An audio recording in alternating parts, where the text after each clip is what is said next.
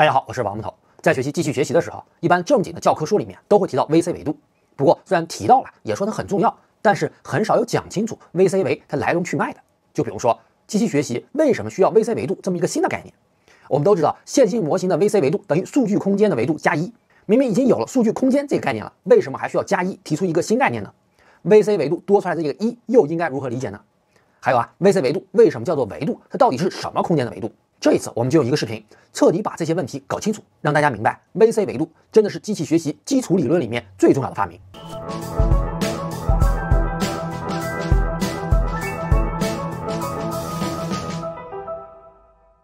在上一个视频啊，我们一起从外围了解了一下机器学习。虽然说啊，学习它有三种方式：演绎、归纳和演化，但是我们通常说的机器学习，还就是指归纳这种方法。这一次呢，我们就不只是停留在外围去了解机器学习了，而是要从最基础的理论去了解它。也就是 PAC 机器学习框架和 VC 维度的理论。在正式开始之前呢，我也先做一个小预告。有很多同学他其实都希望我能建群和大家多多交流。对于有社交恐惧症的我来说啊，建群沟通它其实是一个巨大的挑战，而且也不知道建了群能做什么。如果建完群就是在里面灌水，那我就会觉得太浪费了。而这次呢，因为某件事的发生，让我意识到建个群能和大家互相交流，其实还挺好的。更主要的是呢，就是我能在群里向大家求助了。当然，现在这个想法呢，是这个群可以不大，但是里面的氛围一定要好。具体的做法呢，我有自己的想法，我在视频最后再和大家交流。现在呢，就不打扰大家了，让大家可以安心的去学 PAC 和 VC 维度了。那我们现在正式开始。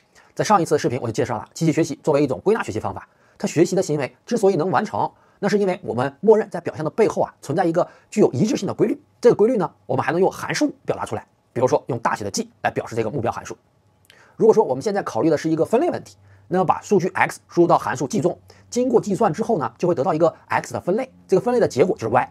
因为大写的 G 是我们默认的那个理想的规律，所以这个分类的结果总是正确的。也就是说啊，可以用这样的形式来表达，哎，就是有一个条件概率，大写的 x 是条件，代表了输入的内容；大写的 y 代表的是分类的结果。如果输入任意一个内容，最后分类的结果它一定是百分之百正确的。这个函数 G 是我们希望获得的那个最终的目标。如果通过学习能把它写出来，那肯定是最理想的情况了。但现实却不是这样的啊！这个最终的目标我们根本不知道，所以我们只能根据已经知道的信息去猜。而我们猜的这个函数呢，用小写的 h 来表示，叫做假设函数。这个 h(x) 函数它也是对 x 的一个分类结果的判断。只不过呢，对于某些输入 x，h(x) 和 g(x) 它们得到的结果并不相等。也就是说啊，h 和 g 两个函数是有差别的。如果说我是上帝，这个宇宙是我自己编程做出来的，那我肯定会给宇宙里的人留下一个特别简单清晰的 API，他们只需要调用这个 API。就能很简单的实现机器学习。这个 API 呢，应该是这样设计的啊，API 的参数类型它一定是函数类型的，这样我们就可以把猜测的那个假设函数 h 直接传给 API，返回值呢，它是一个具体的数值，这个数值代表了输入的参数 h 和目标函数 g 相差了多少。只要有了这个 API，那要实现机器学习，只需要做一个循环，把我们猜测的所有的 h 传递给 API，然后把返回值最小的那个挑出来，因为返回值最小，也就代表了它和目标函数 g 相差最小。这个就是我们学习到的那个规律，只有这样才合理嘛。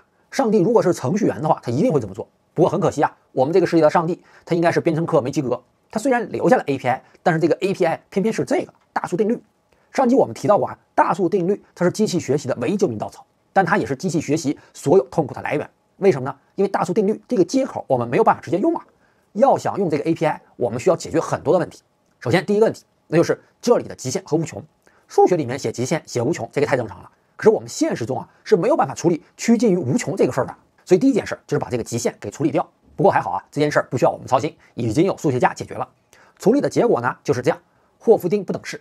霍夫丁不等式就是把大数定律经过变形后得到的，本质上它还是一个大数定律，但是这么一变形就能把极限无穷给摆脱掉了。摆脱的方法呢就是我们人为的设定了一个界限 epsilon，你可以把这个 epsilon 理解成啊是我们人为设定的一个阈值。只要样本平均值和全样本期望它们之间的差小于等于这个阈值，我们就是可以接受的；大于这个阈值，我们就无法接受了。而霍夫丁不等式它就告诉我们了，这个阈值 epsilon 确定之后，我们无法接受的情况，它发生的概率是有一个上限的。也就是说啊，把所有的情况都考虑进来，我们无法接受的情况，它发生的概率一定不会超过不等式右边这个数字。为了方便呢，我们把这串数字用德尔塔来代替啊。这个不等式它其实就是在等于和我们说。我们可以接受的情况，它发生的概率不会小于一减德尔塔，也就是说啊，德尔塔越小，代表情况越好。这里可能稍微有点绕，大家可以稍微思考一下，这还是蛮重要的，因为这个不等式貌似给了我们一个判断假设函数 h 到底是好是坏的方法。h(x) 的好坏呢，它就可以从这个对应的上界德尔塔来表现出来。对于一个假设函数 h(x)，它对应的那个德尔塔就是越小越好，因为它越小就代表了我们无法接受的情况发生的概率越小嘛。不过呢，也别高兴太早，刚才只是把第一个问题解决掉了，也就是说把大数定律里的极限和无穷的问题给规避掉了。但是在这儿呢，坑是一个套一个的。第一个问题解决了，第二个问题紧接着就来了。第二个问题呢，您可以注意这里，如果把这两个看作是我们要传给这个 API 的参数的话，那这两个参数类型它是平均值和期望，而我们假想中的那个参数类型它是函数，我们就可以直接把 h 和 g 传过去。现在是平均值和期望，那我们要想利用大数定律，也就是霍夫定不等式，那就没有办法直接用了嘛？那需要把函数变成平均值和期望那才行。那如何把函数类型换成平均值和期望呢？那最简单直接的想法啊，可能就是想到我们能不能把假设函数 h 它在样本 D 这个集合里面的那个函数值的平均值带进来呢？但如果是这样的话，怎么说呢？不是不可以，没有任何理论阻止你这么做。但是这样做没有意义，因为理想中我们希望的得到的是什么？是假设函数 h 和目标函数 j 它们之间的差别。我们需要的是对这个差别进行量化，而这里呢完全没有体现这一点嘛。所以正确的打开方式应该是将 h 和 g 之间的差别作为考虑因素，把这个差别变成平均值和期望。所以这个问题就变成了这样的啊，样本数据不再是只有 x 了，而是 x 和 y 组成一组，其中这个 x 呢就是我们平时说的照片啊、一段语音啊等等这些数据，y 呢是对这些数据的一个分类的标签。有了这样的一个样本数据之后，我们就可以算出在样本数据里面 h 和 g 它们不相等的时候，这个平均值是多少，也就是这个绿色的 e in。而在全样本中 h 和 g 不相等的那个期望值，它是红色的 e out。通过霍夫丁不等式，我们就能知道 e in 和 e out 之间它们。差距超过阈值 epsilon 的概率不会超过一个上界，于是这里就写成下面这个样子啊。至于这里面的 e in 和 e out，那个 e 大写的 e 代表什么？我看有人说啊，它可以代表期望，哎，因为它就是对期望的一个计算嘛。还有人说它是代表对错误的统计，我觉得啊无所谓，大家能理解就行。这样的话，这个霍夫丁不等式我们就可以利用起来了。这个霍夫丁不等式呢，就有点像是给 e in 和 e out 之间绑了一根软绳儿。你要是说对于某一个具体的 h，某一个具体的样本数据 d。e in 和 e out 到底谁高一点，谁低一点，这个还真不好说。不过因为中间有这根软绳嘛，所以只要是用力的把 e in 给拉低了，e out 也能被带得更低。e out 低了，它是什么？这就是我们想要的，它就能代表了 h 和 g 更接近啊。所以这个看似不靠谱的 API，哎，好像终于能被我们利用起来了。其实这就是 PAC 机器学习理论的框架了。PAC 它是概率、近似、正确三个单词的首字母，也就是说啊，对于是否正确这件事儿，它既是概率的，又是近似的，是一个双重不确定的肯定。如果我要是在语文课上这么说，老师一定会骂我的。只听说过双重否定等于肯定，双重不确定这是个什么玩意儿？可这就是一个事实啊！它既有近似，in 和 out 之间是 epsilon 近似的，而这个近似的情况呢，它还是一个概率问题，发生和不发生它是不确定的。不靠谱的事还没完，就算是一个概率，这个概率的确定的值我们也没有办法知道。我们能确定的只是它的一个上界，也就是说，in 和 out 它们之间连接的还不只是软绳这么简单，它连接的是一个弹力绳。虽然它们之间差距大概率还是小于 epsilon 的，如果运气不好的话，还是有可能超过 epsilon 的，甚至呢，超过的程度还会非常的离谱。所以啊，机器学习这个大厦总觉得它不是那么很牢靠，框架有是有，但是像是一个烂尾楼，到处漏风，破破烂烂的。不过还记得我之前说的吗？这是唯一的救命稻草啊，有个遮风挡雨的地方总好过没有。那接下来我们就需要看一看，对于这个烂尾楼，我们是不是能抢救性的装修一下？于是第三个问题就紧接着来了。不过对于这个第三个问题啊，它还是挺复杂的。而且这个复杂呢，它不是说你得到解决方案啊复杂，而是你要想理解这个问题的本身描述的是什么，哎，就得花点功夫，比较复杂。在现实世界里呢，这也挺符合事情发展的时间线的。PAC 框架在一九八四年就提出来了，提出它的是二零一零年的图灵奖获得者莱斯利瓦兰特。但是我说的这个第三个问题要真正的解决啊，还要等到两千年。那这个问题它到底是什么呢？那我们就需要关注一个在学习这部分知识的时候很容易理解错的地方了。不知道大家怎么样，反正我在理解这部分的时候，有一个地方就很容易搞错，就是对这个不等式的具体含义没有理解太清楚。因为别看它这个写出来就这么简单，但是它非常的复杂。怎么复杂呢？我给大家呈现一下就知道了。首先，这里的 e in 和 e out，它们是和 h 有关的，也就是我们要猜测的那个函数，我们猜的函数不一样 in 和 out 它们可能会得到不一样的值。那我们就可以把它画出来。假如说这个绿色的曲线，它代表了一个函数，这个函数呢是 in 把 h 作为变量的一个函数，h 在横轴上的取值不一样，它得到的值不同。e out 呢也是，它也是关于 h 的一个函数，h 在横轴上的取值不一样，它的值这个 e out 的取值也不一样。in 和 e out 它是不重合的，然后这个蓝色的线条就是就是 e in 和 e out 它们之间的差值了。但是 e out 这个曲线的最低点它肯定就是 G，因为只有当我们猜测的那个函数，那个假设函数，它和我们的那个目标函数相等的时候，它才能完全等于零。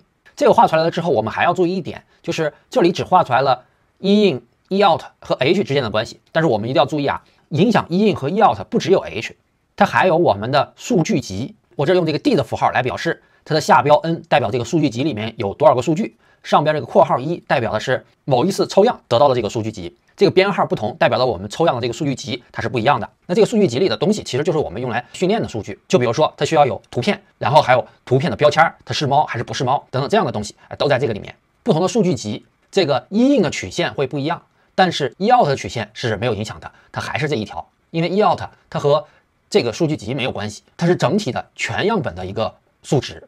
那有了这个图之后，我们再稍微变形一下，就能知道这个一印和一 out 它们之间的差值了。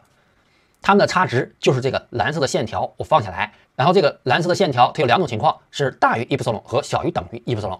就比如说这个红色的就是大于 epsilon，蓝色的它是小于 epsilon。然后这种情况呢，它还是一个概率，也就是说，当它这个差值大于 epsilon 的时候，它是有一个概率的，这个概率存在一个上界。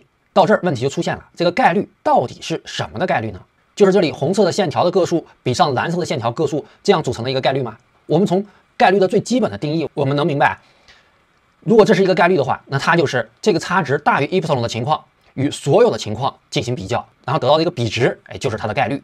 当然，我们这是一个示意的情况，所以说就假设这里的所有情况都是有限的，我们只是通过有限的情况来进行理解。其实对于这个概率来说，它的随机变量就是它们的差值，虽然没有写出来，但是这个差值就是这个随机变量。而我们这儿要看的是这个随机变量大于某一个值，这个事件它的概率。那现在就是这个随机变量，它其实是会被两个因素影响的。一个我们在这儿就看的特别明显是 h，另外一个是数据集。我们抽象数据集不一样，那它们之间的差值也会不同，也就是影响这个差值，也就是这个概率里随机变量取值的有两个因素。那这里的大于 epsilon 的情况和所有的情况代表的是什么呢？是是针对 h 吗？也就是说是这里这个红色的线条的数量除以所有线条的数量这样的比率吗？还是说针对不同的数据集？其中大于 epsilon 的数据集的情况和所有数据集的情况的数量进行的一个比率呢？还是说把它们同时考虑进来的一种情况呢？要想把这个问题考虑明白，我们就要回归到随机变量的一个基本概念了。我们知道随机变量它是样本的函数，对于这个问题，它的样本是什么？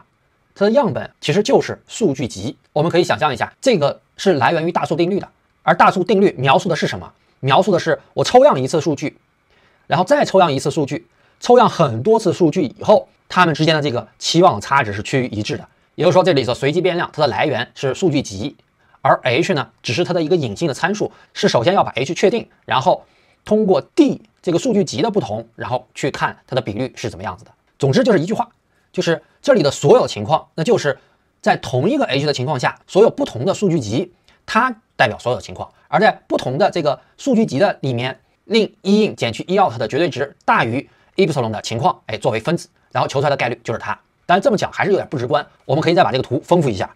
我这里只画了 d n 一这样一个数据集，我们再增加另外一个数据集 d n 二，因为两个数据集不一样，这就导致它们的两个绿色的线条，也就是一印是不一样的。针对这里这个一印，也就是针对这个数据，在这个数据集里面，我们去算一印的最小值，希望通过找更小的一印，然后把一 out 的值也给拉低。那找到这个值呢，我们从图上就可以看到，是这个这个 H 星。而对于下面这个呢，因为数据集不一样了，它得到的曲线是这样子的。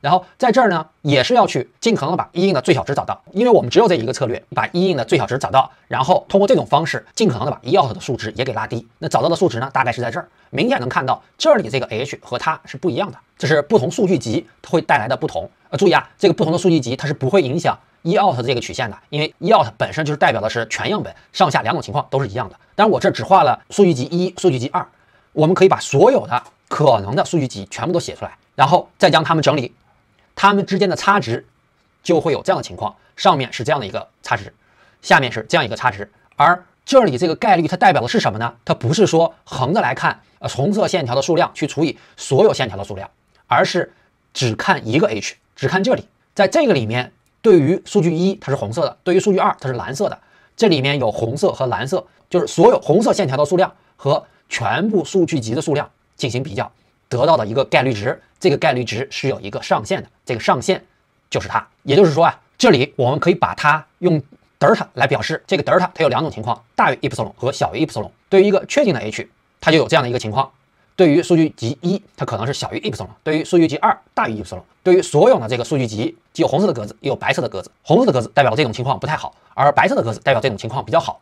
而这个概率，它其实就是在说，这里红色的格子的数量与所有这个数据集样本 D 的数量进行比较。这个手写字体的 D，它是一个数据集的集合，它里面的元素就是 dn 一、dn 二、dni 等等等等所有的 n 个数据的数据集的情况。也就是说，这里的样本和样本空间，它不是。我们平时理解的那个抽样数据的 x 和 y，这个 x 比如说是一张图片，y 是这个图片的标签，不是它。对于这个概率来说，它的样本其实是一个一个的数据集 dn，而样本空间呢是这个手写的 d，就是每个这个 dn 都属于 d，而这个 dn 呢，它才是这些数据的一个集合。到这儿是不是大家就觉得比较绕呢？那为什么会这么绕呢？那就是因为我们为了去应用这个 API。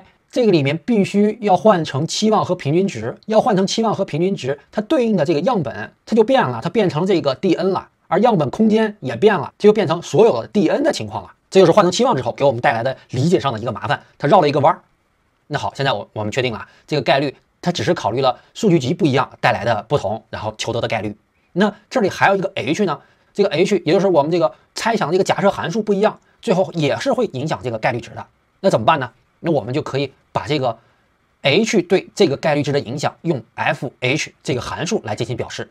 要注意啊，这个 f h 它是一个函数，这个函数的值代表一个概率，但是呢，这个 h 并不是随机变量，因为 h 是随机变量的话，那 f h 就代表一个概率密度函数，概率密度函数是可以归一的。而现在这个函数它是不见得归一的，这也是为什么前面总是在强调这里的随机变量它是和数据集 dni 有关的。而不和 h 有关，关键就在这个归一问题上。如果想要把 h 也考虑进来，哎，不是不可以，但是在归一这个问题上就已经变了。那这个概率密度的随机变量和样本空间就全变了，最后得到的数值上限也都全都不一样了。这个问题我们后面还会再涉及。现在我们就来看前面这部分，它是把所有的抽样数据的情况都考虑到了，而这儿呢，它是要考虑不同的假设函数会带来什么样的影响。如果把这个图像画出来的话，大概是这个样子的。这只是一个示意图，它不见得像我画的这样，就是有一个。凹点，然后其他的就是光滑的，它可能这儿是非常扭曲的。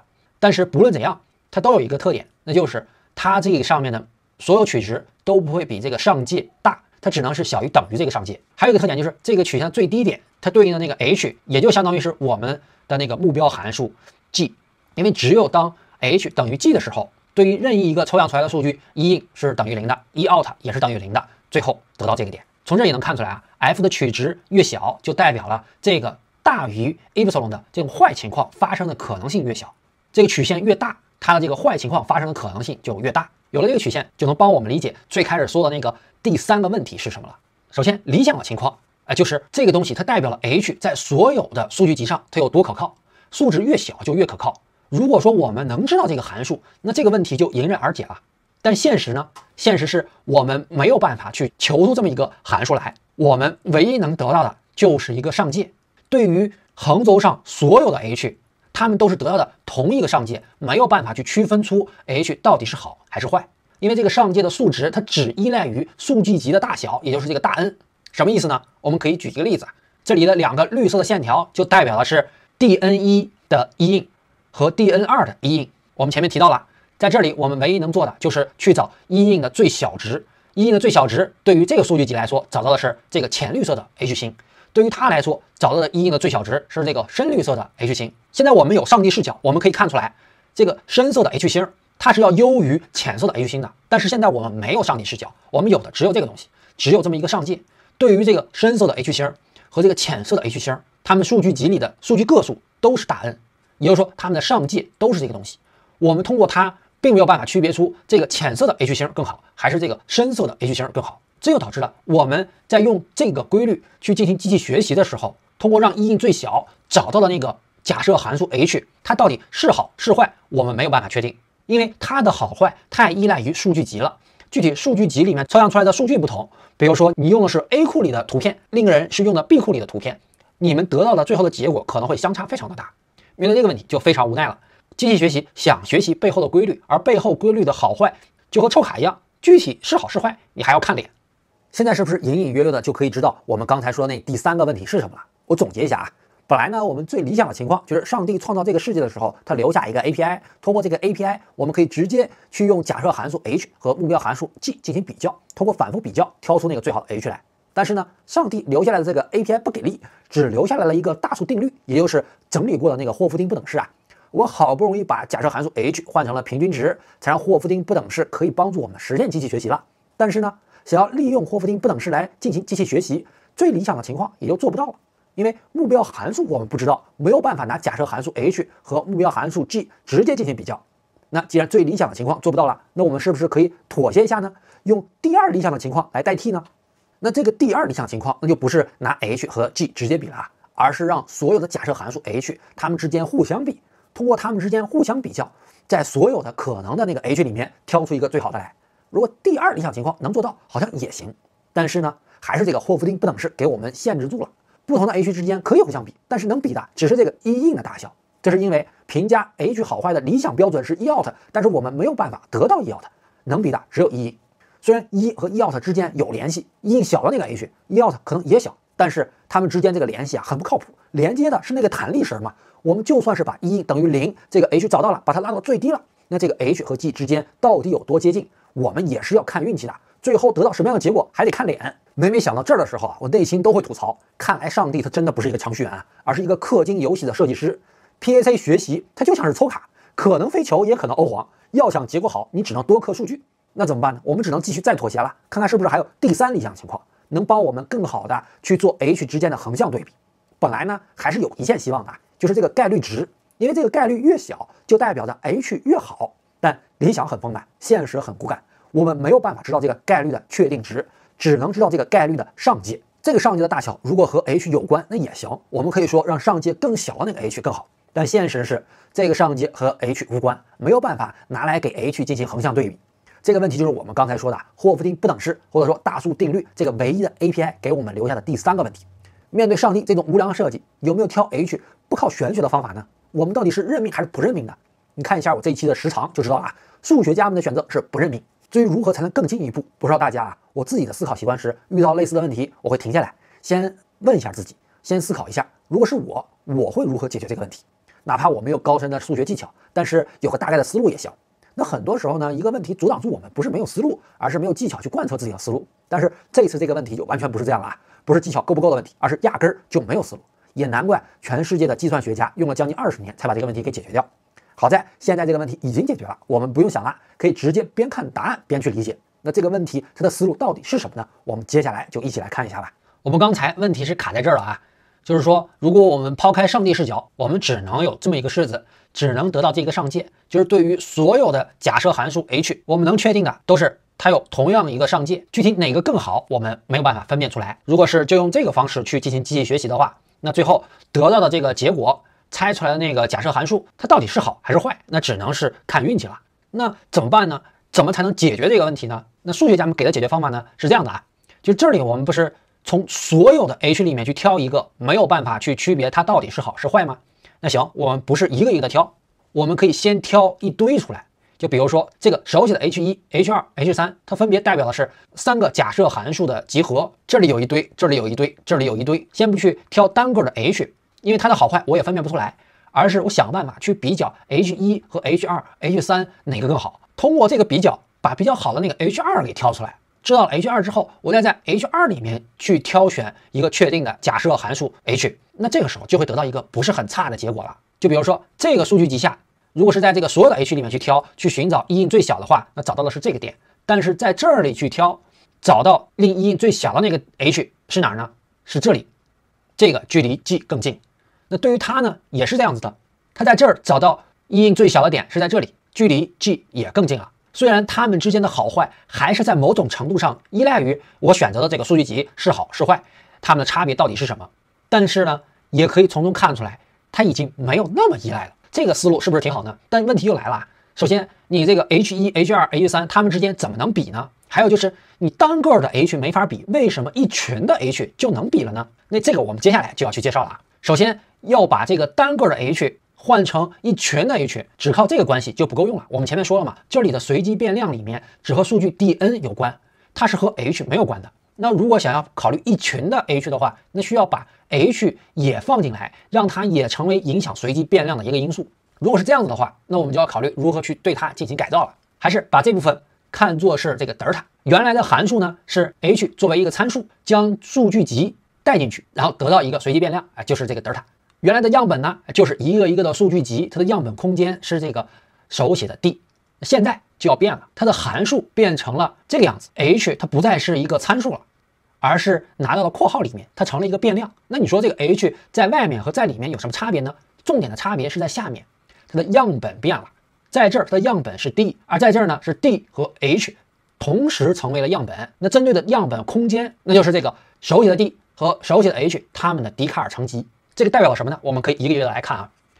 这是原来的样本，这是现在的样本。现在的样本变成了这样的一个组合，然后它的样本空间也变成了这样一个笛卡尔乘积。那又代表的，原来这个德尔塔，我要去挑不同的德尔塔，只需要在这个 D 里面去挑就行了。现在这个德尔塔呢，它必须要在 D 和 H 的笛卡尔乘积里面去挑。再细化一下，就是这个意思啊。原来的 H 单个 H 的好坏，哎，它是用这样的方式来衡量的，就是在所有的这个 D 里面去看一看有多少是这个比较坏的情况，就是大于 epsilon 的这个情况发生，把这个事件数量记录下来，然后除以所有的情况，用这个作为概率去衡量好坏。现在呢，因为样本和样本空间都变了，所以说一大堆的 H 的好坏，那就要变成在所有的这个笛卡尔乘积里面去把坏的情况的数量记录下来，然后除以笛卡尔乘积的个数。什么意思呢？我用一个图表来给大家呈现，就更容易理解了。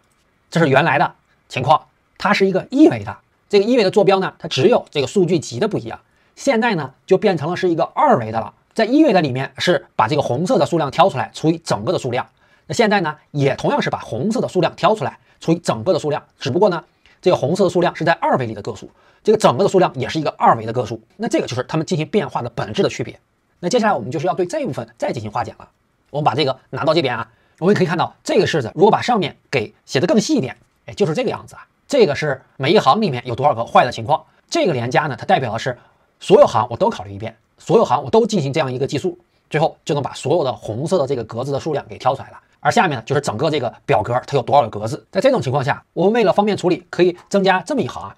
这个一行代表是什么呢？就代表的是对于这个同样一个数据集，这个里面如果发生一个不好的事件。那它就代表了不好。如果说对于这个数据集所有的格子都是好的，那代表这个是好的。那这一行里面这个坏情况的数量，它一定是大于这一行的坏情况的数量的。不只是这一行，而是所有这一行一行一行每一行的坏情况的数量，它都要小于这个或或者说这个并出来的结果的。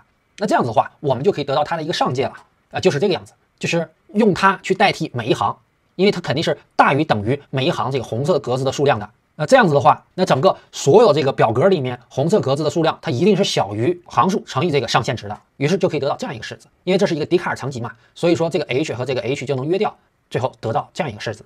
那这个里面到底是什么呢？我们前面说了啊，它其实就代表了对于同一个数据集，也就是同一列，如果里面有一个坏情况发生，那就计数为一；如果所有情况都没有坏情况发生，那计数为零。那写出来就是这个样子。因为这是或嘛，所以说这个里面大概率是有一些重叠的情况的。但没关系，我们要考虑的是一个上界，我们就可以把这个或的关系变成加的关系，这里换成小于等于号，这个分子它一定是大于这个分子的，因为这里它没有排从，而这儿排从了。有了这个式子之后，我们再看这里的每一个分子除以分母等于什么？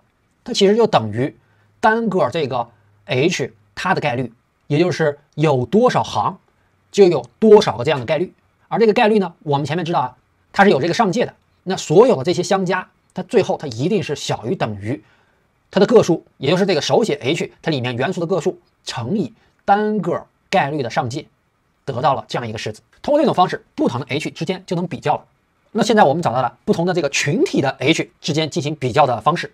那为什么单个的它不能比较，换成群体之后它就能比较了呢？我们可以来看一下啊，这是我们前面画的这样一个示意图。如果说我们找的是这个 h 二，在这可以看到。对于这个 H 二集合来说，这里面的 H 它虽然也会有这种红格子出现的情况，但是呢，它出现的情况比较少。而且我们大概可以去猜测啊，这个红格子出现的原因，往往是因为某个数据它选的太偏了，是某个数据导致的。因为数据太不好，它让大部分的 H 都不好了。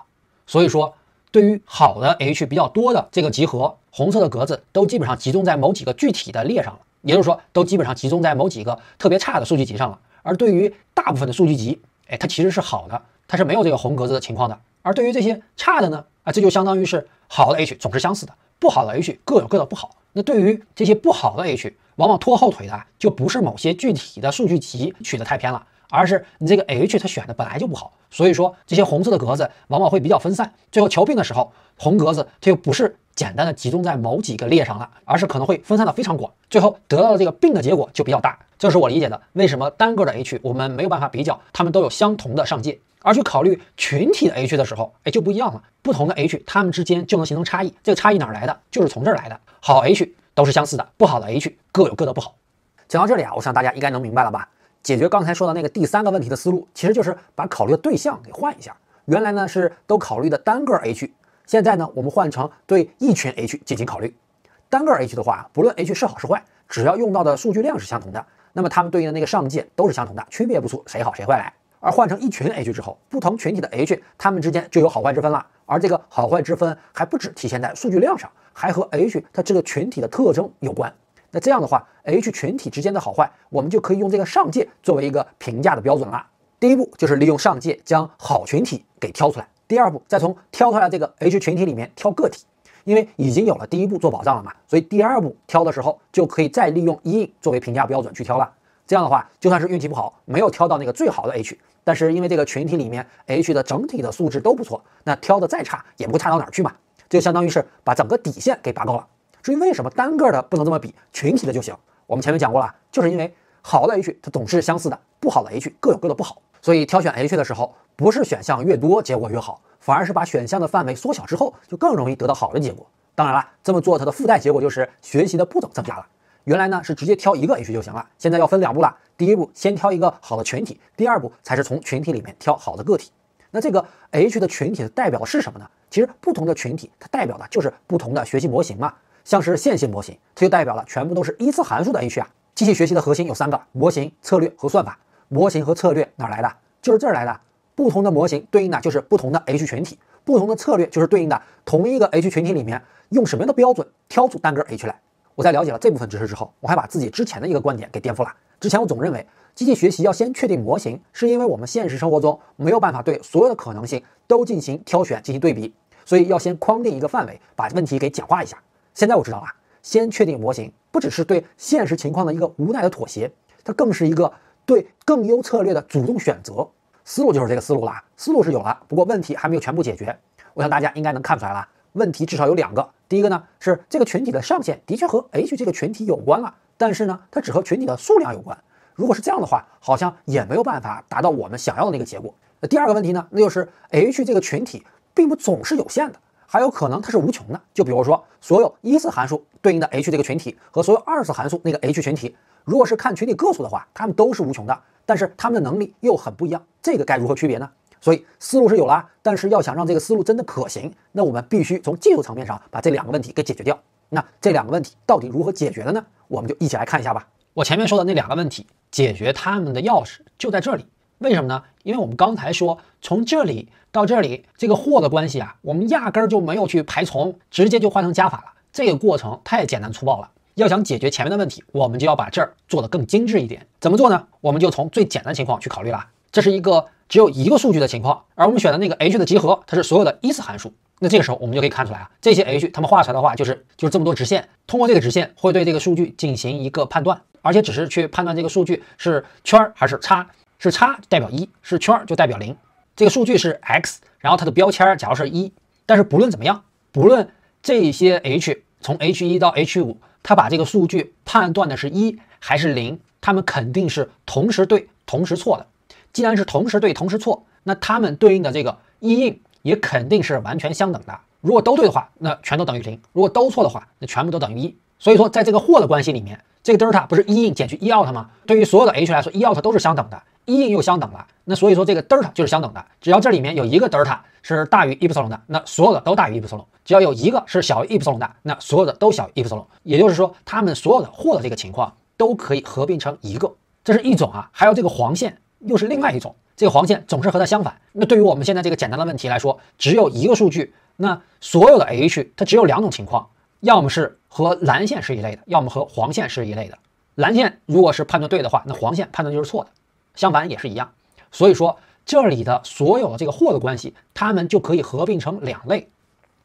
也就是蓝色的线和黄色的线两个概率，然后它们再相加，那就不是这个 H 的集合它里面元素的个数了，而是只有两类，所以说它乘以二就行了。原来这个 H 所有的一次函数它是无穷多的，而现在呢变成了二，这是只有一个数据的情况啊。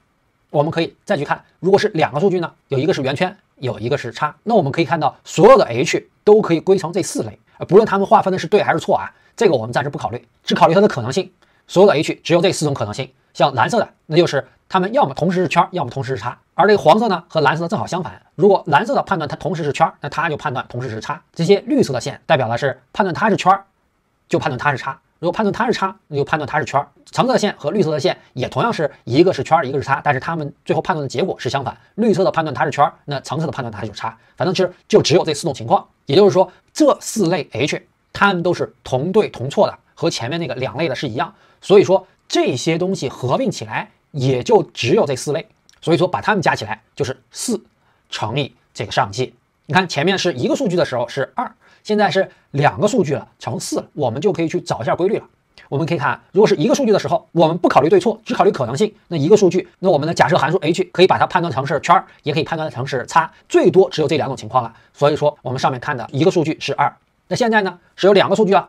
那有两个数据，不考虑判断对错的情况，那所有的这个 H 最多只有这四种情况，要么全部都是圆圈，要么是一个叉一个圈，要么是一个圈一个叉，要么是全部都是叉。这是两个数据。如果是三个数据呢？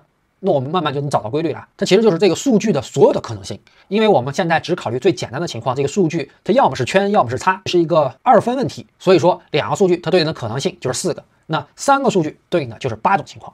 那四种数据，那对应的就是十六种情况。那通过这个规律，我们就可以总结出来了啊。对于有 n 个数据的情况，那它至少是有一个上界的，这个上界是二的 n 次方乘以这个上界，这是整个群体啊。那这个就能摆脱我们前面说的问题了。前面说的那个 h 是无穷大的，现在它至少不是无穷大的，它是一个有限的。只不过这个有限的上界呢，它还是一个指数型的，这个还是蛮大的一个数啊。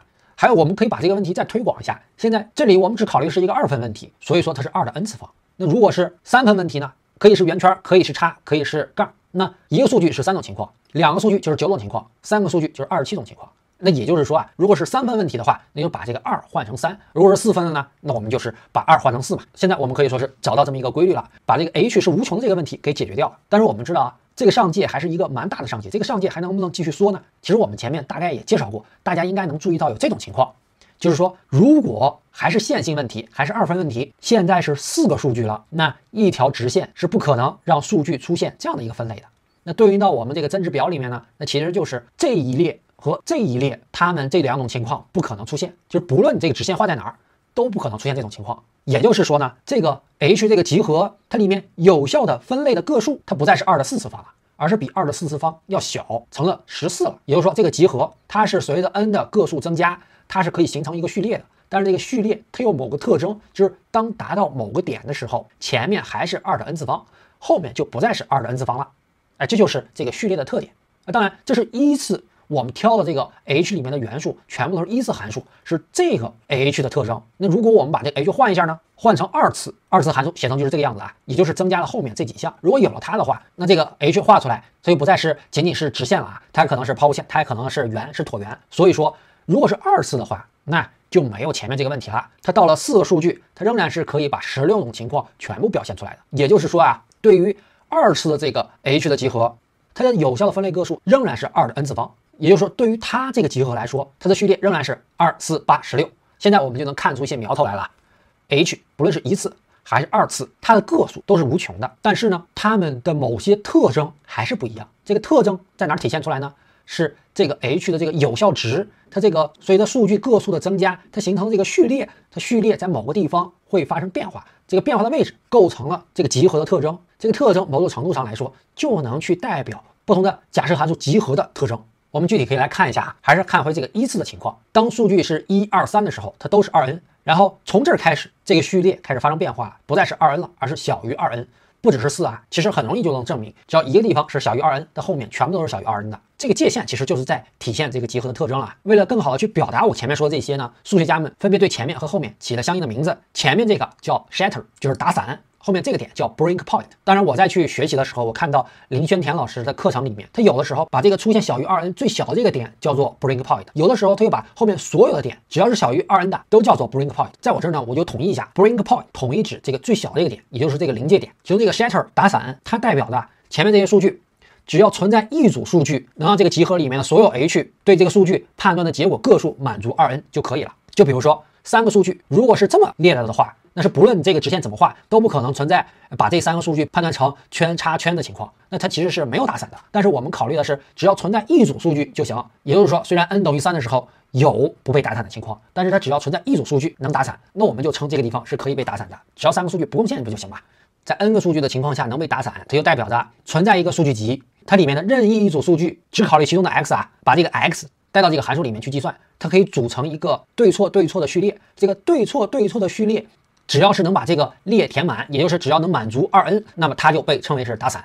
在 shatter 这儿，在打散这部分是存在一个数据就行了。那对应到 break point，那它其实就代表的是对于所有的数据都不被 shatter，那这个时候这个点才能被称为是 break point。那好，现在我们知道了 shatter 和 break point 它是一个相对的概念。能被 shatter，它就不是 break point。出现了 break point，它后面的都不会被 shatter。那知道它有什么用呢？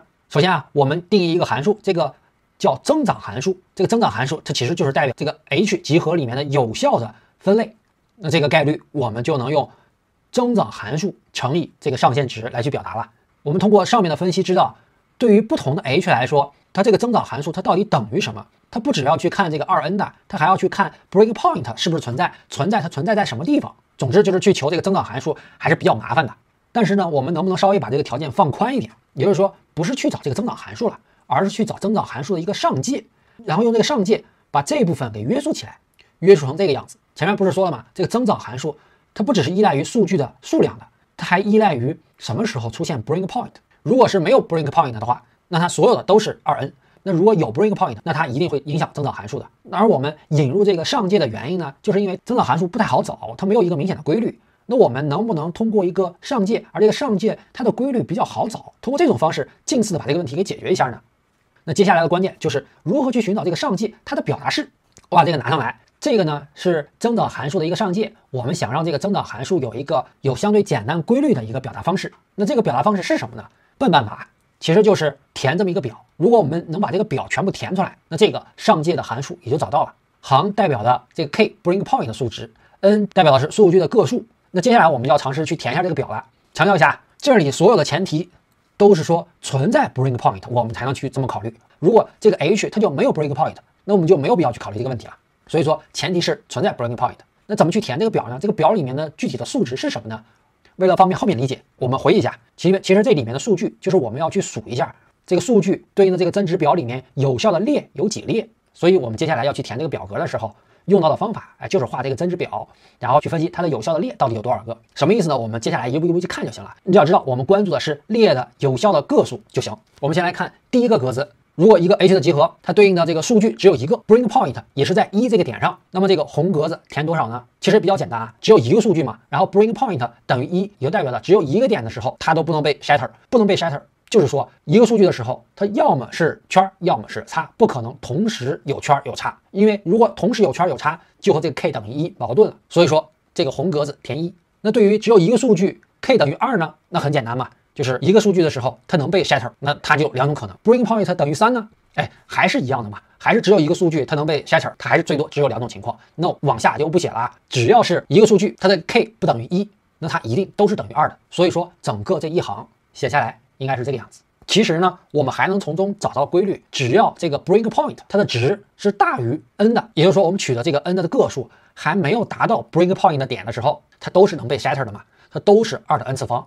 所以说，下面这一半格数我们都可以填上了，二的 n 次方，二的 n 次方，二的 n 次方，二的 n 次方。那好，这些填了还是比较简单的。那接下来就要看这里了，这个点怎么填？如果是两个点，k 还等于一，那这儿填什么？其实如果是蒙的话，我肯定是蒙一。那到底对不对呢？我们可以用反证法去看一看啊。如果说 n 等于二，k 等于一的时候，它不等于一，这就代表了这两个数据它有两种情况。我这儿随便举啊，假如说这里是两个圈和一个叉圈，在这儿我们是看不出来它有什么问题的。但是别忘了啊。n 等于一，k 等于一的时候，它应该是等于一的。如果是出现这种情况，从这个里面我们挑一个数据，比如说把第一挑出来，那这个时候 n 等于一，k 等于一就等于二了，这个二和这儿就矛盾了。而这里呢，只要这儿是两列，都可以得出这儿是等于二的。所以说啊，有两列是不可能的，它只能有一列。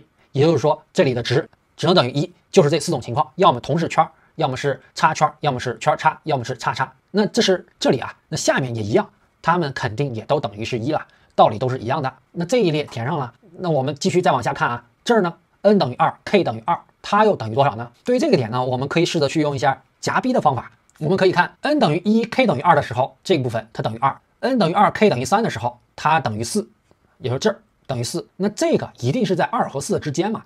所以说它应该是有两列或者是三列。不过呢，我们这儿不是要找上限嘛？所以说在这儿也就不麻烦了，我们直接填上三。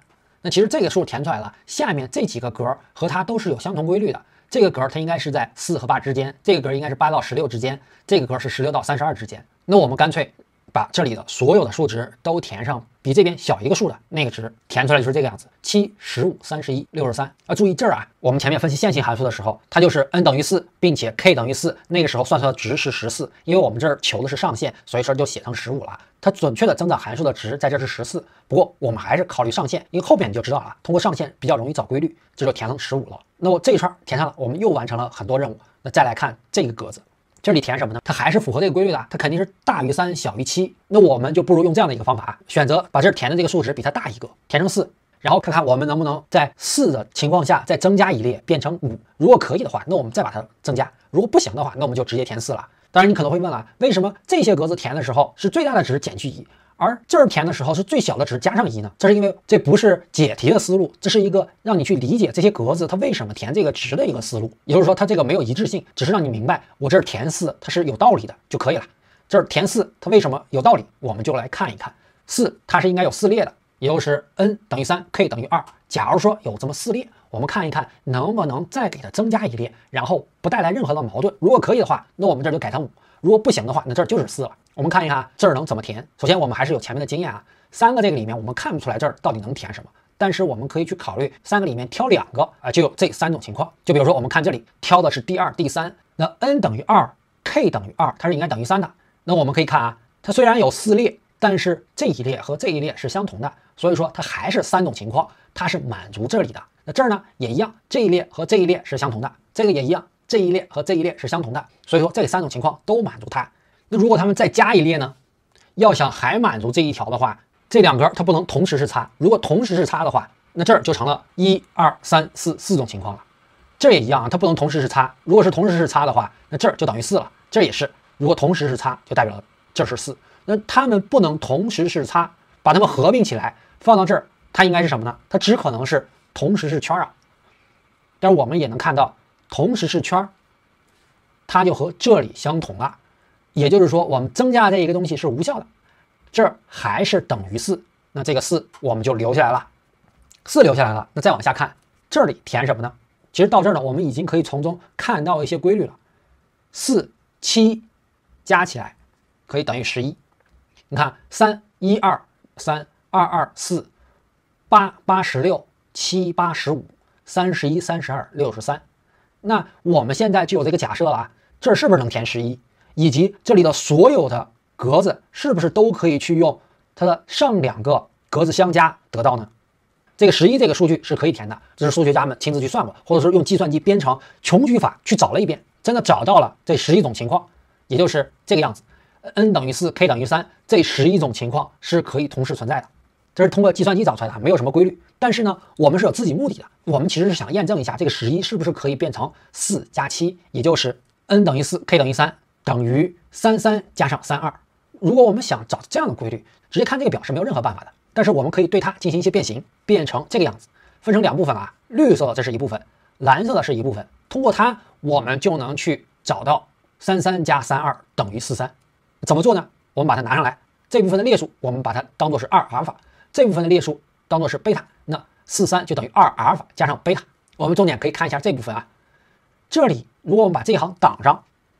只看上面，这是不是这两个是重复的？这两个是重复的，它们是两两重复的。也就是说，这个部分拿出来是一个阿尔法，挡住的部分拿出来是另外一个阿尔法。于是这个表格就能变成这个样子，它是等于阿尔法加上贝塔组成 n 等于三，k 等于三，这里比它少了一个数据，最下面那一行拿掉了，所以说是 n 等于三。它呢是 n 等于三，k 等于二，这里拿掉一个，k 等于二，一共是四个。那上面这一个列数就等于它们相加，那不就是这里四三等于三三加上三二吗？所以说这里填十一是没有问题的。那我们就大胆一点，把这个规律拿过来去推广一下。现在是四三等于三三加三二，那我们是不是就可以把这个用更通用的表达式写出来呢？写成 n k 是 n 减一 k 加上 n 减一 k 减一。当然，要想严格的去得出这样一个规律，这儿这个等号就要变成小于等于了。不过没关系，反正我们也是要找上界，所以说这里我们就完全都可以用上面这个规律填写上了。一加四五小于等于五，十一加十五小于等于二十六，等等等等，全部都按这样的方式给填写下来。那现在这是一个递归公式啊，如果大家上过算法课的话，一定都经历过这么一个过程，就是把递归公式换成通式表达出来。这个递归公式的通式是什么呢？是这个，从 n 个里面挑 i 个的组合数，然后加起来。啊，注意啊，在林轩天老师的课上。他说了，这部分我们只证明了小于等于。如果换另外一套数学的思维方式，是完全可以证明它大于等于的。也就是说，这儿换成等于是没问题的。而我们的核心呢，并不是严谨的去了解它背后所有的证明过程，只要明白这个上界的公式，这个东西是怎么来的就行了。而它呢，又可以被另外一个上界给框住。这上界是什么呢？也就是它一定小于一个 n 的 k 减一次这么一个多项式表达式的。那具体这个多项式表达式啊不确定，但是我们可以用这个复杂度的方式给它表达出来，写成这个样子。而这个条件其实还可以继续的放宽一点，直接把它换成。n 的 k 减一次作为这个上界的上界，因为它的值我们写出来就可以知道啊，只要 n 大于等于二，k 大于等于三，这里的值都是比它更大的，所以说它一定是可以作为这一部分上界的上界的。好，到这儿我们对于增长函数的上界找到了，它不再是一个指数级的了，而是一个多项式级的，这个我们就比较容易接受了。但是还是要强调一下，所有的这一切前提都是 bring point 存在，如果没有 bring point，或者说 bring point 它是无穷大的，那这一切都不用考虑了。那现在我们是不是就可以把它放到那个不等式里面了呢？也就是这个 H 群体的这个概率，它有一个上界，这个上界被这么一传递之后，被一个多项式量级的系数给框住了。这个是比二的 n 次方要远远合理的。更何况它把 k 给引进来了，k 是什么呢？k 是不同 H 的它的本身的一个特征啊。也就是说，这个上界不只依赖于数据的个数了，它还依赖于 H 的本身的特征。只不过呢，现在还只是一个理想的结果。真实的情况，把这个挡住，这一部分要做一些修正，修正成这个样子：n 换成二 n，二换成四，这儿的负二换成负八分之一，也就是这儿需要换一下。B 里面的这个 n 换成二 n，后面四负八分之一，为什么呢？这是有严格证明的，只不过呢，这个证明的过程我们一般人不需要了解。林轩田老师他在自己的课里也说了，他只是给了我们一个理解的方式，告诉我们为什么这些东西会出现。至于这些具体的数值是怎么得来的，我们不用去考虑太多的细节。那这个系数是怎么来的呢？我们一步一步来看啊。最开始的时候，我们是得到这么一个不等式，在这个不等式里面呢，h 是作为一个固定的系数的，并没有把它放到随机变量里面。而经过我们变化之后，要去考虑一个 h 的群体，那这个时候我们把 h 拿进来了，它作为了随机变量的一部分，表达出来呢就是这个样子。那其实到这儿呢，我们能看到这一部分是通过一个数据集算出来的，而它呢，严格来说，它是要将所有的样本都要进行计算才能算出 e out 来。但是在真实情况，我们没有办法把所有的样本数据都拿过来进行计算，所以我们在这儿就可以对它进行一些修正，把这里的 e out 换成另外一组 e in，也就相当于是我们在进行机器学习的时候，这是训练集，这是验证集，而这个验证集呢，它同样还是一个 dn，它的数据量的大小还是 n，只不过这个和它是完全不同的两个数据集。经过这么一切换之后，那这里就要进行修正了，这要加上二分之一，前面要加上二，为什么呢？通过这个图能给大家解释一下。原来这个 e in 减去 e out，假如说 e in 在这儿，e out 在这儿，它们之间的差值是这些。那这个 e in 撇呢，它和 e out 其实也是有这么一个偏差的。那偏差叠加上偏差，e in 和这个 e in 撇它们之间的偏差就不一样了嘛。所以说这需要加上二分之一修正，这儿加上二。那于是这个不等式就被修正成了这个样子，n 变成了二 n，因为这是一个 n，这是一个 n，二 n，前面呢增加二这部分里面有二分之一。二分之一，这儿拿进来平方，其实是等于负二分之一，而这呢是负八分之一，这还不一样。这个不一样又是什么原因呢？这部分原因呢，是因为有了这样一个变化，原来是从很大的一个样本空间里面去挑出一个少部分的 n，那这里是相当于很少一部分嘛，那把这部分挑出来了，它是不会对原来罐子里面的这个比例产生影响的。但是现在呢，整个数据它只有 n 加 n，如果从这个里面挑出来了 n 个数据，那原来里面这个黄色和绿色豆子的比率就会发生变化，抽样的不同，那它里面的结果也会不同。于是这部分大于二分之一，交换成这个样子，它减去的是一印和一印皮儿它们之间的均值，然后后面的这个 epsilon 的系数变成了四分之一，那把四分之一带进来就变成了这个样子，四分之一的平方乘以二，那就是八分之一。那到现在这里修正的这些系数是怎么来的？哎，就做出了解释了。那这儿成了 b 二 n k，那对应的换成多项式的这个上界的话，那就变成二 n 的 k 减一次，然后后面写下来。那到这儿大功告成，h 的不同可以通过这个上界来进行识别了。它不只依赖于数据量了，它还依赖于 k，也就是 h 它本身的特征。那到此，我们前面说的那第三个问题终于被解决了。那最后我还是要强调一下，这个成立的前提是存在 breaking point。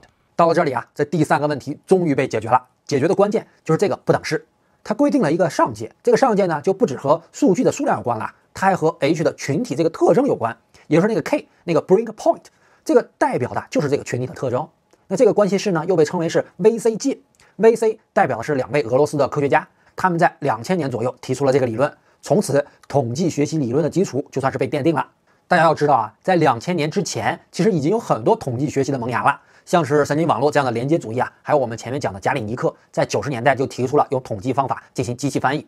但是我估计啊，那个时候的机器学习方法还都是科学家们在各自的领域凭着经验来做的，理论基础呢，也就是最多到 PAC 了，很简陋。而 VC 界被提出来之后，PAC 理论就相当于是经过了精装修，虽然还是不完美，但是已经好太多了。我想对于大多数人来说啊，可能对 VC 界这个概念啊不是很熟悉。没错啊，因为对于大家来说，更熟悉的那个概念啊是 VC 维度。这也很正常啊，VC 界是一个纯粹的数学公式，VC 维呢则是对这个数学公式赋予意义。一个伟大的科学发现往往是由两部分组成的，第一部分是把规律用数学形式定量的表达出来，第二部分呢就是对这个数学形式赋予意义。也就是说，为什么这个规律的数学形式是这个样子，而不是别的样子？有的时候呢，这两部分成就是归于同一个人的，比如 E 等于 mc 方，爱因斯坦他又不止把它给推导出来了，还给它赋予了深刻的意义。他告诉我们，能量和物质是同源的。但有的时候呢，得出数学形式和对数学形式进行解释，并不是同一个人。而且呢，你还不能说给出数学形式的那个人就比给出解释的人更伟大。就比如说薛定谔，他虽然推导出了薛定谔方程，但是这个方程代表的意义到底是什么，他自己也搞不太清楚。反而是波恩，他用概率波的概念对薛定谔方程进行解释之后，薛定谔方程才被赋予了无与伦比的意义。而波恩呢，也正因为这个解释获得了诺贝尔物理学奖。VC 这两位数学家，他们就没有把解释 VC 界的机会让给别人。他们用 VC 维度为这个数学公式赋予了意义。VC 维的数学形式很简单，它就是把这里的 k 减一换成 VC 维，但是它的意义却非常的深刻。不知道大家有没有和我一样产生过好奇心啊？为什么 VC 维度它叫维度？我们一般说维度的时候都是和某某空间有关。VC 维度它到底是什么空间的维度呢？如果把这个问题搞明白，那你就能明白我为什么说 VC 维是一个非常深刻的概念了。我自己最先接触到 VC 维的时候，总认为它是一个多余的概念，因为在接触 VC 维的时候，最开始看的都是这样的一个情况，就是考虑线性模型。如果我的数据是一个二维的数据，那么在这儿 VC 维它就是三，比二多一。如果数据是三维的，那 VC 维对应的就是四，四维的 VC 维对应的是五。这个我们前面的视频也讲过啊，很多讲 VC 维的时候都会提到这一点。那在这儿呢，VC 维它就等于我的这个数据的维度，也就是这个空间的维度加一。既然已经有了空间的维度了，那为什么还需要一个 VC 维这么一个概念呢？我当时就觉得比较多余。当然，你可能会说，这只是针对线性模型，如果不是线性模型的话，就不能简单的说它是空间的维度加一了。哎，没错。但是呢，还是挡不住我去想 VC 维它是多余的。为什么呢？我们前面分析过这样的一个情况啊，我们知道，对于一个 H 来说，它随着 n 的变化，它都对应的有一个序列。那这个序列呢，它有两部分，一个是能被打散的 shatter 的部分，还有一个就是不能被打散的部分。当然，这得是 break point 存在啊。如果不存在的话，那就是呃，所有的情况都是被 shatter 的。那如果 break point 存在，那么这个序列它就有自己的特征，那个特征就是这个分界线，而这个分界线就可以去帮助我们去衡量一个 h 它的好坏，体现出来就是这个 pH 的上界嘛。所以说，关键我们是要把这个分界线这个特征给体现出来。break point 呢就已经做到这一点了呀，是这个分界线的右边是最小的不能被 shattered 的这个 n，而 VC 为呢？它是这个分界线的左边最大的能被 shattered 的这个 n，那你说这两个到底有什么具体的区别呢？我们无非就是把这一个不等式这个 k 减一换成了 dvc，也就是 dvc 等于 k 减一。当然，你说这么写可以让这个不等式更简单，但是这个真的是有必要的吗？我们已经有了 breakpoint 这个概念了，而且这个概念在前面我们也看到了，它能帮助我们去理解增长函数的上界。那换成 DVC 呢？那这部分意义就不存在了，除非 DVC 有更深刻的意义，要不然的话，那这个概念还真的是有些多余。那这个 DVC VC 维度更深刻的意义是什么呢？哎，我们就要一步一步来看了。我们还是先看，如果这个 DVC 它是面对的一次模型的时候，它就是 D 加一嘛。那我们去分析一下这个 D 加一，在这个过程中去看一下这个 DVC 它真正的意义是什么。那那行，我们先把这个 H 是一次这个问题表达出来。假如说我这里有一个数据集是 Dn，这里面的元素是 x 和 y，那这个 H 我就可以写成这个样子了。其中 x 是数据，它用一个向量来表示，这里的 x 一、x 二一直到 xd，它代表的是我这个数据的维度，也就是前面看到那个空间的维度。而 w 呢是 x 的系数，也就是我们说的权重，x 乘以 w 加 b，然后对它进行符号判断，它就等于 y。还有一种写法呢，是要把这个 b 给投出来，哎，不是，是要把这个 b 写到上面，这样下面这个式子就能简单了，直接 x 乘以 w，b 已经包含进去了，然后它就等于 y。为了后面我们理解方便，我用这个黄色的 y 来表示没有进行符号判断的这样一个 y 值，黑色的 y 是进行符号判断的。后面我们会用到这个来帮助我们理解。那好，现在我们知道了这个是 h，但其实我们能知道啊，不同的 h 其实就是对应的不同的 w，w 就代表了不同的 h 啊。那现在我们知道了有一个数据的时候可以写成这个样子，那要是有多个数据呢？就比如说有这么多数据，那我们就可以把数据进行转置，写成横向量，然后这么写下来。在这儿呢，我特意写了 d 加一个数据，因为这样能帮助我们后面去理解。呃，其中这儿这个 d 加一肯定是小于等于 n 的啊。那把这个数据按照横向量拼成一个矩阵之后，这个矩阵和 w 相乘，就可以得到另外一个向量，这个向量就是 y 值构成的向量了。那现在我们知道了这样一个表达式，也知道它的来源了。那我们准备工作完成，我们接下来就要看 VC 为等于 d 加一，它都包含哪些信息？它其实包含了两个，一个就是 n 等于 d 加一的时候，它是可以被 shatter 的；n 等于 d 加二的时候，它是一个 breakpoint。什么意思呢？我们一个一个来看啊。这是数据组成的矩阵乘以 w，然后得到分类结果的向量。我们可以把这个矩阵用 x 来表示，这个矩阵用 y 来表示。然后 n 等于 d 加一的时候可以被 shatter，这代表什么呢？就代表了 y 的。任何一种取值，任何一种情况，就是这里的不论是正还是负，它们这个正负的任意一种组合都存在一个 x 和 w 相乘，使得一式成立，使得它们成立。那我们怎么能证明 n 等于 d 加一的时候，这种情况一定存在呢？那其实只需要去构造这样一组数据，第一组数据全部都是零，第二组数据在数据的第一个维度是一，第二个在数据的第二个维度是一，反正就是这里这个对角线全部都是一，其他的全部都是零。我们前面说过啊。能被 shatter，只要存在一组数据能被 shatter，那就代表它是能被 shatter 的。所以说我只要构造出这样一组数据，那这个数据组成的矩阵，这个矩阵的逆它是一定存在的。只要这个 x 的逆存在，那么就一定存在有这样的一个情况，就是不论 y 是什么，y 的任何值，它只要乘以 x 的逆，它就等于 w。那这个时候 w 就一定存在。那现在我们就知道了，构造了 x 之后，一定存在一个 w，使得 w 和 x 相乘。可以等于任何一种 y 的情况，那这个时候我们就能证明了 n 等于 d 加一的时候，它一定可以被 shatter。那这个只是 VCV 等于 d 加一的一半信息啊，还有另一半信息就是 n 的 d 加二，它是 breakpoint，它是不能被 shatter 的。关于这一点，它又指什么呢？它其实就是在指啊，在 x 这个的基础上任意加一个数据，比如说 x d 加二，这个时候得到的结果就是从 y 一一直到 y d 加二。对于这一组结果。它不会有所有的可能性，也就是说，这个正负正负，它一定不是所有的可能都有。那这一点又该如何证明呢？那我们就可以先把这个数据给加上来，这是我们新构造的 x，在这个的基础上多增加了一条数据，x 一、x 二一直到 xd。在这儿呢，我们可以去观察一下上面这部分，这是什么？如果是你特别熟悉线性代数或者是矩阵的话，那你马上就能知道，这里的所有的行组成的向量都是线性无关的，它们可以作为一组积，把任意一个其他的向量给线性表达出来。也就是说，x d 加二，它可以用剩下的这些数据线性表达出来。如果你熟悉线性代数，呃，熟悉矩阵的话，你肯定知道我在表达什么。如果你不熟悉也没关系。这个形象的来说呢，啊，这里的每一组线性不相关，我们就可以把它理解成是这个样子啊。这一个向量它代表 x 轴，这一个向量代表 y 轴，这个向量代表 z 轴。这儿呢是每一个向量，它其实就代表了一个空间里的轴。大家可以看一下这个轴是不是最多也就这么几种。而下面这个数据呢，它就代表了在这个空间里的任意一个向量。那你说这个向量不论它怎么表达，是不是它都可以用 x、y、z 表达出来？在这儿也是一样，我们增加的任意一个数据，它都可以通过上面进行线性表达出来。那有了这个式子之后，我们接下来就是要去看一下这一点是否能告诉我们 y 一到 y d 加二不会有所有的情况，到底是什么情况不会有？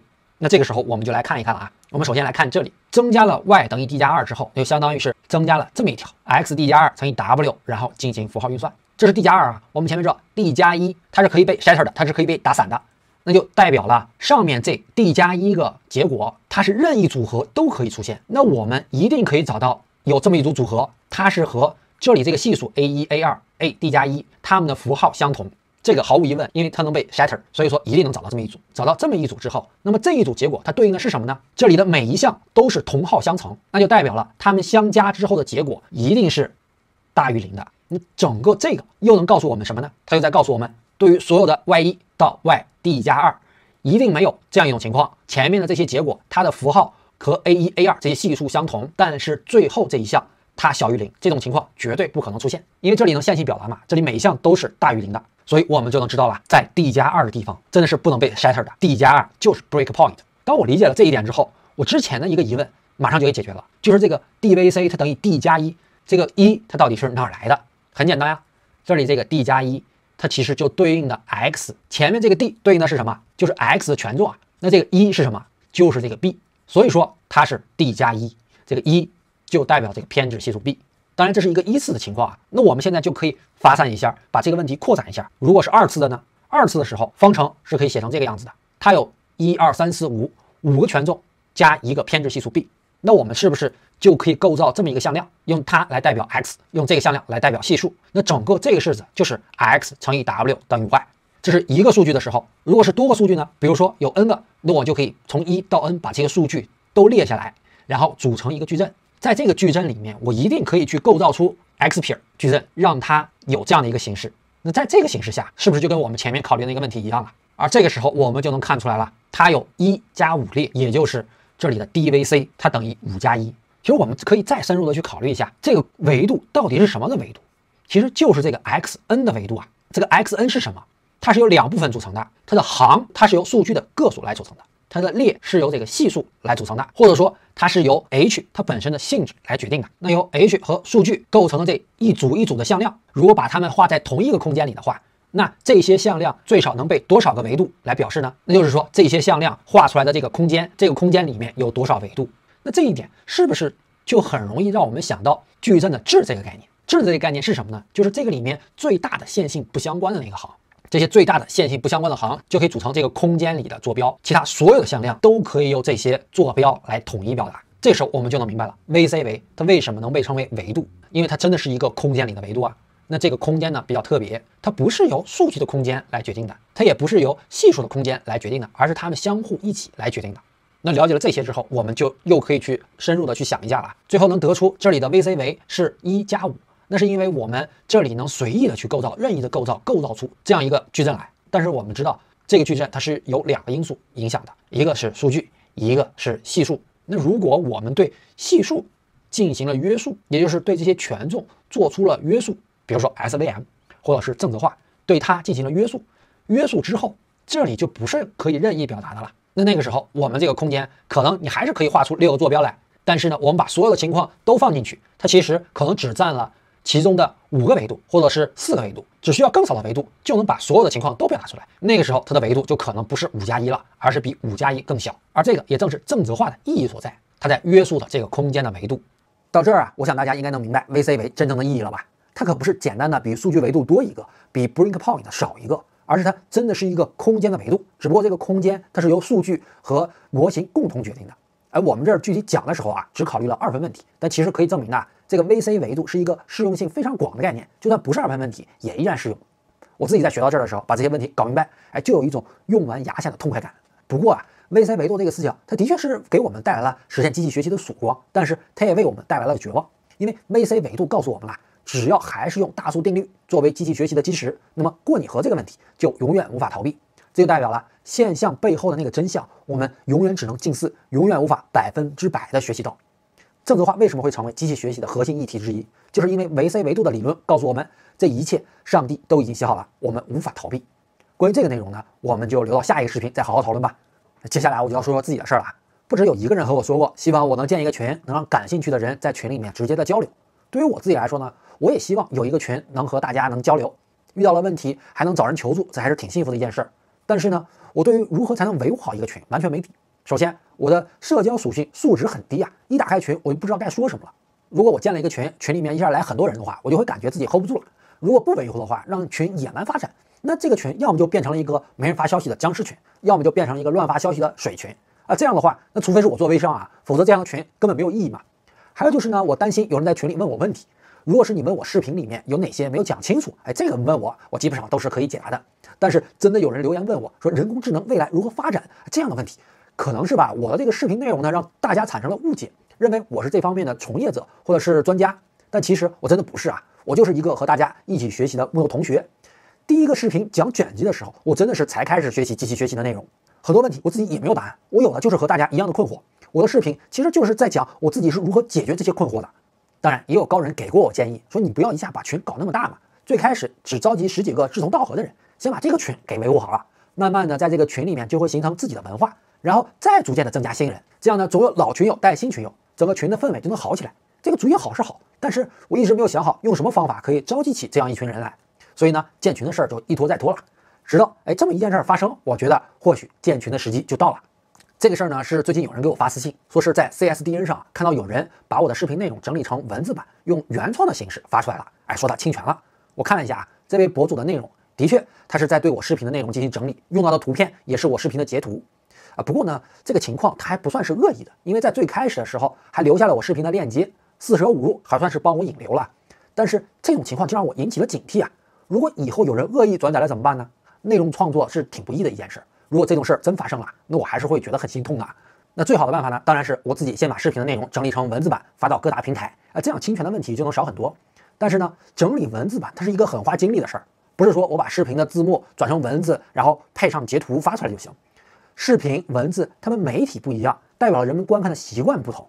视频这是一个绝对线性的观看习惯啊，文字版呢就不是了。人们更习惯的是一个块读，就是先用小标题定要自己感兴趣的段落，然后再细读。这个就要求，虽然讲的内容还相同，但是文章的体力和视频就会有很大的差别，约等于重新创作了。于是问题就来了，如果我把精力放到了整理文字版上，就没有精力去学新内容和做视频了。就在我还在犹豫是不是要放慢视频的制作速度，先把文字版给整理出来的时候啊，哎，突然就突发奇想，之前不是还挺困扰的吗？不知道怎么把志同道合的人呃挑出来，然后聚到一起，那我是不是就可以这么做呢？